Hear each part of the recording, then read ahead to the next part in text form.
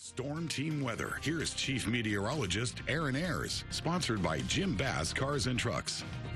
All right, it's been a quiet week for us here in the Concho Valley so far, and we're going to see more of that as we go through the days ahead here in the Concho Valley. It's going to be sunny and mild as we continue out our week. A cold front this weekend for us, rain chances as we go into next week, and we're going to continue to watch the tropics. It's been a very active tropical season this year, a very active tropical season in 2020. Today we got up to 75 out at Mathis Field. Our average high is around 68 for this time of the year. Our record is 88 back in 2017. Our low this morning of 32 degrees. That's 10 degrees below average for us this time of the year in the Concho Valley. A record of 19 set back in 1916. A very cool start to our morning back in 1916.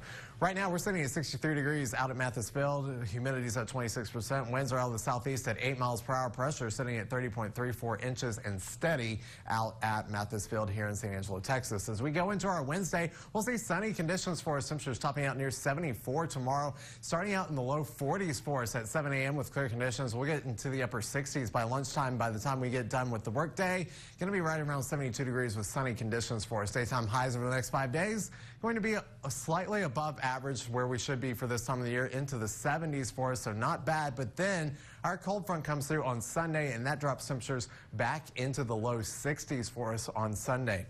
Rain chances also with that front coming through on Sunday. We could see some isolated showers on Sunday. We'll keep it at a 20%, a 10% chance as we go into Monday as some of that energy still remains. And we are in need of that rain here in the Concho Valley. Many places already starting to see abnormally dry conditions here through the center part of the Concho Valley. Some moderate drought creeping in on the edges here. And then we've got some areas of severe drought in Crockett County and then extreme drought in McCulloch County, including Brady and Melvin. So we're definitely in need of that rain here across the Concho Valley. Unfortunately, we're not getting it now. We've got a little bit of cloud cover out there now, but that's going to be working its way out for us as we go through the evening hours and into the overnight hours for us.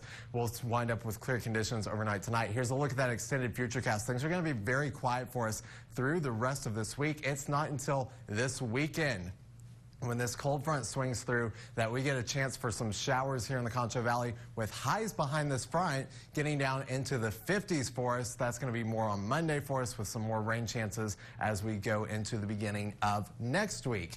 Let's talk about the tropics. We've got Tropical Storm Iota right now in Nicaragua and then it's at 50 mile per hour winds right now, pressure at 998 millibars, moving west at 12 miles per hour and this storm's not going to go very far. It's going to die out here near San Salvador before too long here. So that's some good news. Bad news for Central America where they've been pretty hard hit. Tonight we get down to 38 degrees here in the Concho Valley. Under clear conditions, winds will be out of the east-southeast at around 5 miles per hour. And for our Wednesday, getting upwards of 74 degrees, sunny conditions for us. Winds out of the south at 10 to 15 miles per hour. Let's take a look at the next five days here in the Concho Valley. We're going to continue to see that sun and cloud mix for us through the rest of this week. Temperatures still remaining in the 70s until we get to Sunday when that cold front swings through, bringing a chance for some isolated showers. Temperatures back down into the 60s for daytime highs, 50s on Monday, then back to the 60s as we go towards Tuesday. We'll be back with more KSAN News right after